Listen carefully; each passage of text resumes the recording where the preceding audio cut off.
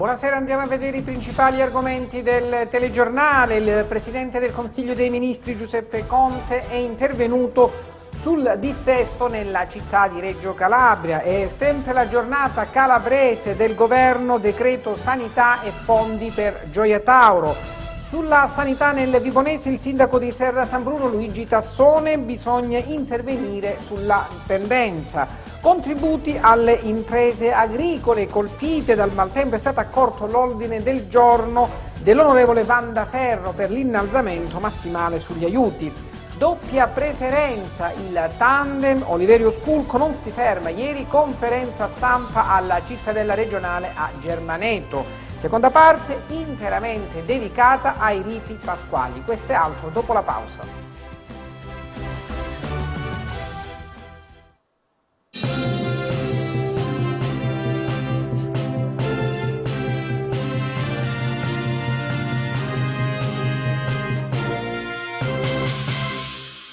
Come dicevamo nei titoli parliamo della giornata che ha visto il Consiglio dei Ministri convocato nella città di Reggio Calabria. Vediamo in merito la visita del Presidente del Consiglio dei Ministri. Nel corso della conferenza stampa per illustrare i contenuti nel decreto speciale sulla sanità calabrese sollecitato dai giornalisti, il Presidente del Consiglio dei Ministri Giuseppe Conte è intervenuto sul rischio di sesto finanziario vissuto tuttora dal Comune di Reggio Calabria. Reggio Calabria è in predissesto finanziario, siamo consapevoli di questa situazione. Ieri il Vice Ministro dell'Economia Castella ha incontrato il Sindaco Falcomatà e hanno iniziato a ipotizzare per prevenire una prospettiva che non sarebbe affatto auspicabile. Il Primo Ministro, pur non sbilacciandosi troppo, ha palesato una serie di possibili provvedimenti per salvare i comuni in predissesto e quindi anche Reggio Calabria. Tra le misure c'è anche una proroga per l'approvazione del bilancio 2019. Viene data la possibilità per i comuni in condizioni simili a Reggio Calabria di apportare una modifica al piano di equilibrio portandolo da 30 a 20 anni. Intanto vediamo la giornata calabrese dei ministri tra bronzi, decreto e sanità e fondi per Gioia Tauro. Unico speciale ed emergenziale, così il Ministro della Salute Giulia Grillo ha definito il decreto approvato dal Consiglio dei Ministri riunitosi a Reggio Calabria sulla sanità calabrese. Unico perché si tratta di un provvedimento che non sarà applicato a nessun'altra delle regioni italiane. Speciale perché prende le mosse dall'assunto che il commissariamento prima e il piano di rientro dal debito poi negli ultimi dieci anni non si sono dimostrati sufficientemente efficaci per risollevare le sorti della sanità calabrese. Emergenziale perché tiene conto del disavanzo di gestione pari a 168 milioni di euro, dei livelli di essenziali di assistenza che con un punteggio di 136 sono ancora molto al di sotto della quota minima accettabile di 160 risultato che determina il blocco del turnover del personale sanitario, del commissariamento per infiltrazioni mafiose dell'ASP di Reggio Calabria, una misura a tempo della durata di 18 mesi e dopo il dodicesimo mese la Regione potrà iniziare ad avviare le procedure di nomina di nuovi manager perché ha chiarito Grillo vogliamo essere fulmini e non travalicare le nostre prerogative. Un messaggio diretto al governatore Oliverio, chiamato in causa da Grillo durante la conferenza stampa, con la titolare del Dicastero alla Salute che ha sottolineato quanto la sanità sia materia concorrente. Il Ministro aggiunto svolge il proprio ruolo nel rispetto della Costituzione. Tre i punti cardine del decreto sanità illustrati da Grillo, verifica straordinaria dai manager ed eventuale nuova nomina, gestione contabile delle aziende sanitarie fallite e poi il capitolo acquisti. Quello della salute è un settore molto sensibile, sia negli sprechi che nella criminalità. Tutti gli acquisti dovranno passare da Consimp e da protocolli d'intesa con ANAC.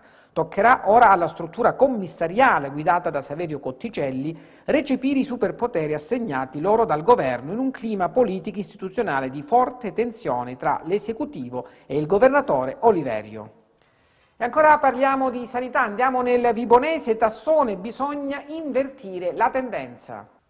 Negli uffici dell'azienda sanitaria provinciale di Vibo Valenzi, il comitato di rappresentanza della conferenza dei sindaci, accogliendo la loro richiesta, ha incontrato le delegazioni dei sindacati GGL, CISL e WIL, a guidare la delegazione della CGL Battista Platì e Michele Iannello, la delegazione CISL Francesco Mingrone, Sergio Pititto e quella della WIL Pasquale Barbalaco. Con il presidente Luigi Tassone, sindaco di Serra San Bruno, erano presenti Raffaele Scaturchio, sindaco di Dasà, e Giulia Russo, sindaco di Ricadi. Assente per impegni istituzionali Antonio Lampasi, sindaco di Monterosso. Al centro dell'incontro la situazione che interessa la sanità del territorio vibonese. Il confronto, ha affermato Tassone, ha permesso di evidenziare evidenziare le numerose criticità che impediscono di garantire alla popolazione i livelli essenziali di assistenza e le cui cause sono ancora legate alla gestione commissariale della sanità calabrese che dura ormai da molti anni. I presenti nel rivendicare il diritto alla salute hanno convenuto sulla necessità di avviare una nuova fase di concertazione che rappresenti una netta inversione di tendenza con il passato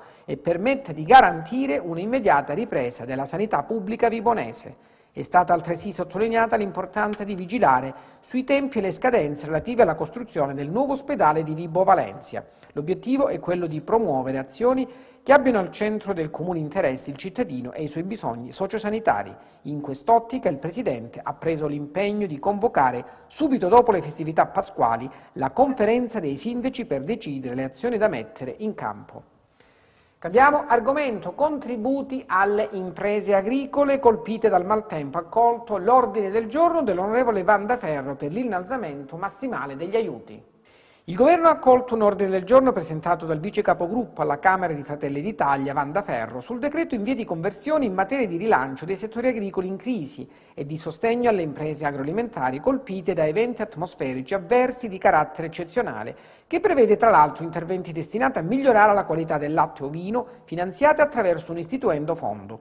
L'ordine del giorno impegna il Governo a valutare l'opportunità di intervenire in sede di Unione Europea al fine di modificare i regolamenti che definiscono il limite dei contributi elargibili nel regime del de minimis del settore agricolo, innalzando il massimale di concedibile da 25.000 euro a 50.000 euro alle imprese agroalimentari colpite da eventi atmosferici avversi di carattere eccezionale.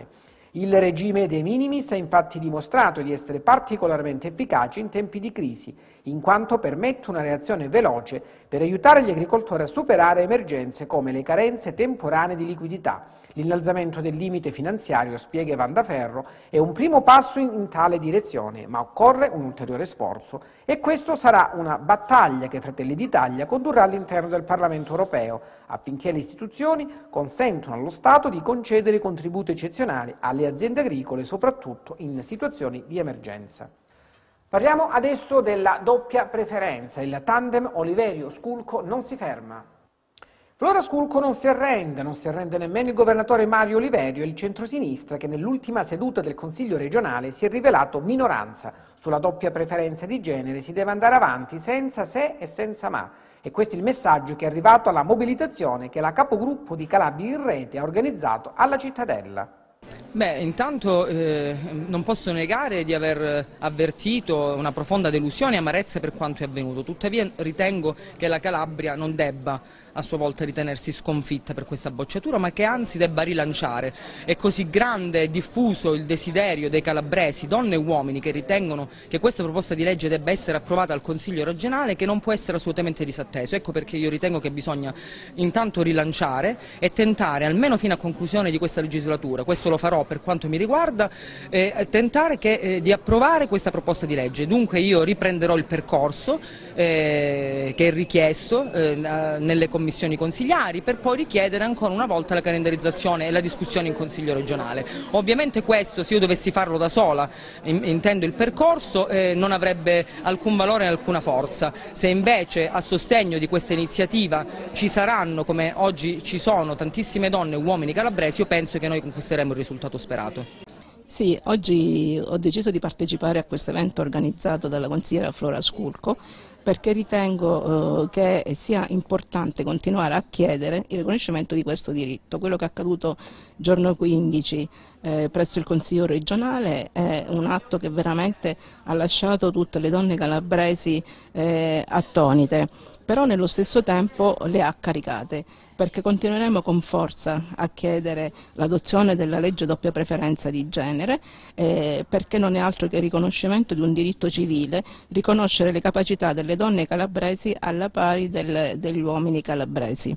Spero eh, che si voglia riconsiderare eh, questa, la, la, proposta dell'onorevole Sculco che andava esclusivamente nella direzione della rappresentanza delle donne all'interno delle liste, quindi nessuna garanzia come non dovrebbe esserci e come non potrebbe esserci di elezione, ma solo quella proporzione che è già legge dello Stato e che non viene applicata solamente in Calabria e forse in altre due regioni.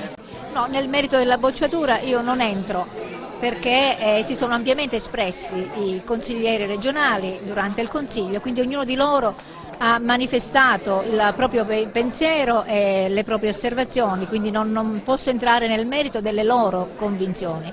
Personalmente ritengo che, sia, eh, che sarebbe stato opportuno eh, diciamo, eh, assumere la direzione appunto di una legge che è legge comunque dello Stato, una legge nazionale, quindi assumerla anche in Calabria, posto che di fatto le donne già sono rappresentate in tutto il mondo delle professioni, nel mondo del lavoro, in tutti i comparti sociali e quindi non, non vedo perché non riconoscere anche la possibilità di una percentuale di presenze femminili nelle liste elettorali.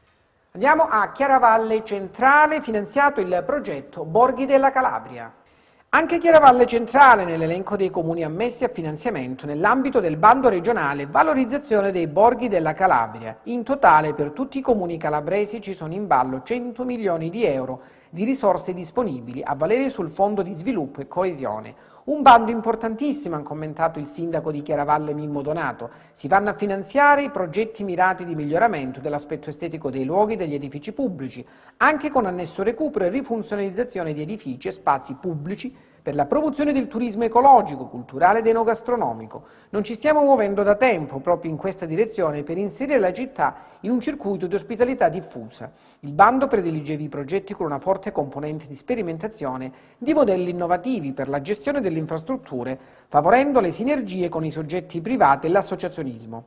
Con questo ulteriore finanziamento, precisato Donato, la nostra amministrazione va già a completare un primo disegno di sviluppo complessivo che rivoluzionerà Chiaravalle, milioni e milioni di euro di cantieri che andranno a migliorare i servizi e il volto della nostra città. Progetti finanziati grazie al meticoloso lavoro della maggioranza che mi onoro di guidare. Presto l'annuncio ufficiale di ulteriori somme in cassa che saranno in gran parte destinate alla viabilità per circa 700 mila euro. Proprio nei giorni scorsi il sindaco aveva descritto in conferenza stampa i risultati fino allora ottenuti. A distanza di poche ore, dunque, ecco arrivare ulteriori novità positive a partire dal bando per la valorizzazione dei borghi della Calabria, per un'amministrazione come la nostra che ha ereditato il comune già in situazione di dissesto era essenziale dare un segnale, una svolta immediata, ha concluso Donato. E sempre restiamo al comune di Chiaravalle Centrale, si comunica che giovedì 25 aprile non sarà effettuato il servizio di raccolta differenziati in quanto giorno festivo. Carta, cartone, multimateriale e vetro potranno essere conferiti venerdì 26 aprile. L'amministrazione comunale si riserva di attivare una propria azione di verifica e di controllo del rispetto delle modalità di raccolte fissate. In caso di violazione saranno applicate le sanzioni previste dalla legge e dal regolamento comunale per la gestione dei rifiuti urbani ed assimilati. Si confina nel buon senso civico di tutti e si resta a disposizione per ogni eventuale informazione o segnalazione in merito, contattando il responsabile dell'ufficio tecnico comunale al seguente recapito telefonico 0967 91 031. Andiamo alla Mezia Terme, sequestrate uova di Pasqua e sorprese contraffatte, una denuncia. Ben 192 uova da confezionare, 42 già confezionate, sono state sequestrate dalla Guardia di Finanza di Lamezia Terme, guidata dal tenente colonnello Clemente Crisci. A questi si aggiungono 15.648 giocattoli, peluche, palloni e federe da cucino da inserire quali sorprese all'interno delle uova di Pasqua. Ulteriori giocattoli esposti per la vendita, raffiguranti personaggi di fantasia o loghi di squadre di calcio, per un totale complessivo di 15.882 pezzi. È stato per questo denunciato un uomo di 42 anni, gestore di fatto di una ditta individuale con sede alla Mese Terme per il reato di contraffazione. Ci spostiamo adesso a Badolato. È stato inaugurato a Badolato Marina, sulla via nazionale, di fronte alla banca, un punto vendita di frutta, verdura e diversi, l'Orto della Nazionale. Questo è il nome del negozio di Sergio Tassone, un giovane imprenditore locale. Rispetto a tanti amici, ci ha precisato Sergio, che per mancanza di lavoro hanno deciso di emigrare, io ho deciso di fare una sfida con me stesso, aprendo questa attività commerciale. Non vi nascondo le difficoltà burocratiche da superare per il rilascio delle varie autorizzazioni e le spese da affrontare per allestire il negozio nel rispetto della normativa di sicurezza e di igiene. Mi auguro che i miei sacrifici saranno ricambiati dai miei clienti. Il negozio, ha proseguito Tassone, con accanto la sua ragazza, si caratterizzerà per i prezzi contenuti, la presenza giornaliera di prodotti genuini di prima scelta. Verdure e diversi tipi di altre specialità saranno tutti prodotti coltivati nei poderi dai contadini del territorio senza conservanti. Il negozio si caratterizzerà anche per la professionalità del personale, le genuinità e la freschezza dei vari prodotti. Infatti si potranno acquistare anche le uova di giornata, i formaggi locali, il pane e i biscotti badolatesi e un ottimo vino. Auguri Sergio. Ci fermiamo per una breve pausa. Riprendiamo le notizie, parliamo dei riti pasquali e andiamo a Chiaravalle Centrale.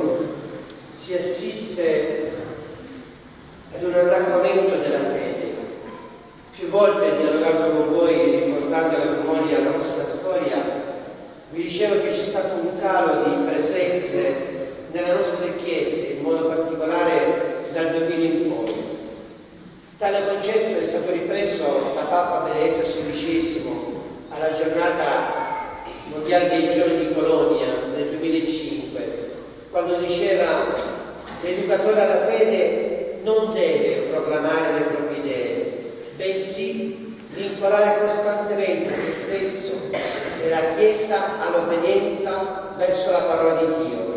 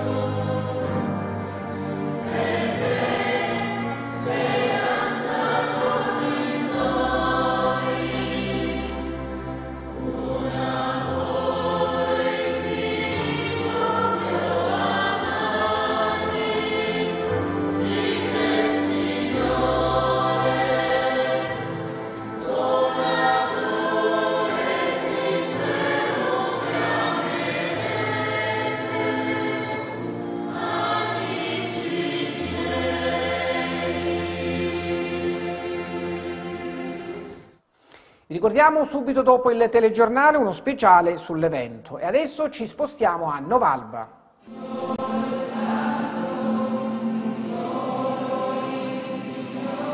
Con la celebrazione della messa in cena domini officiata dal parroco Don Giuseppe Morales è iniziato anche a Novalba di Cardinale il Triduo Pasquale.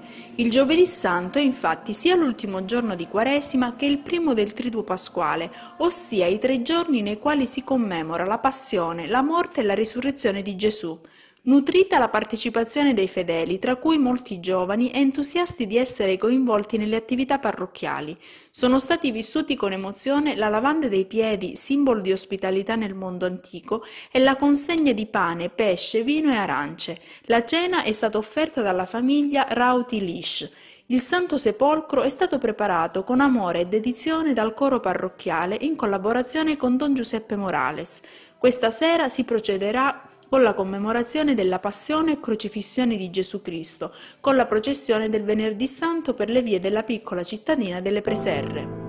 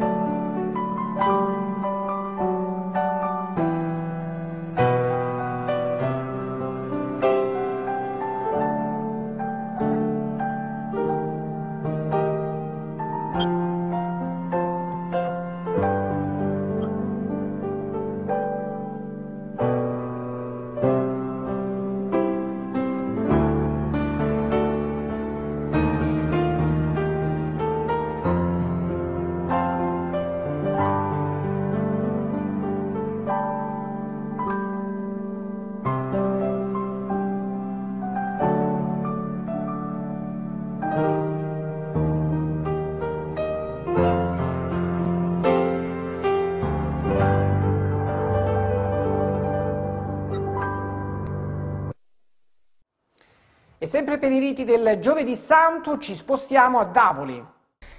Con il Giovedì Santo si conclude la Quaresima e inizia il Triduo Pasquale, ossia i tre giorni nei quali si celebrano la Passione, la Morte e la Risurrezione di Gesù.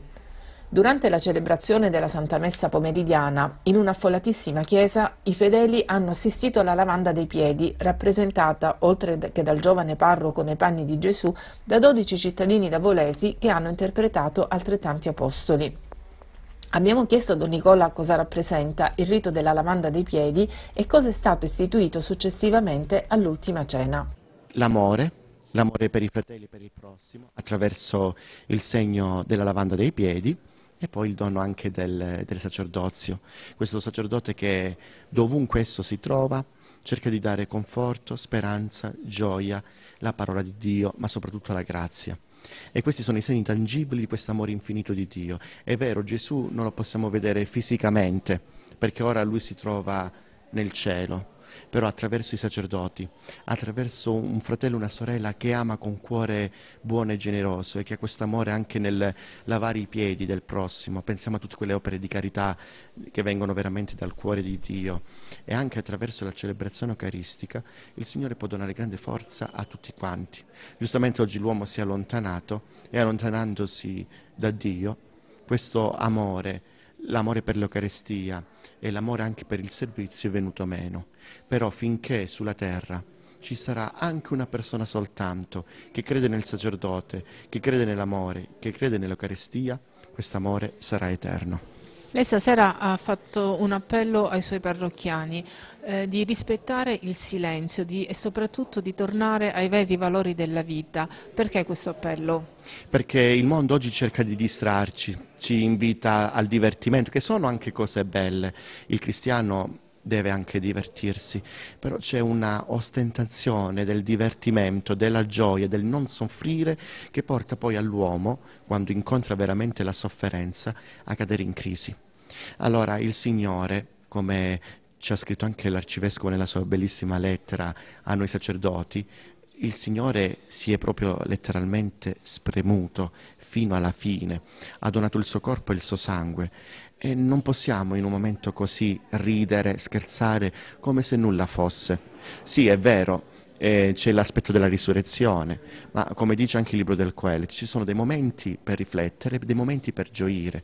L'eterna gioia, che porta poi molte volte anche quella schizofrenia, o all'eterna tristezza, sono due eccessi che l'uomo rischia. Allora, questi tre giorni di preghiera servono a riflettere chi è morto per me. E giustamente, poiché lui crede tanto in questo, ancora oggi, lui domani morirà per noi, è giusto che noi lo rispettiamo come noi vogliamo essere rispettati. E sempre vi ricordiamo subito dopo il TG uno speciale sull'evento. Ed ora chiudiamo con Staletti il servizio di Maria Caterina Sanzo.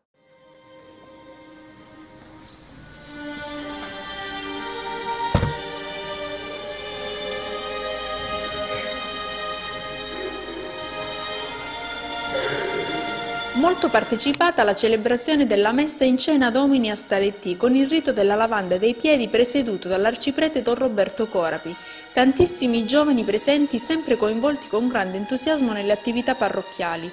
Siamo concentrati sul dono d'amore che il Signore ci ha fatto, ha ribadito Don Roberto. L'Eucarestia va vissuta in pienezza e nella grazia per risplendere di luce, ha continuato. Non sono mancati i dodici discepoli vestiti con gli abiti d'epoca che hanno fatto rivivere l'atmosfera del cenacolo.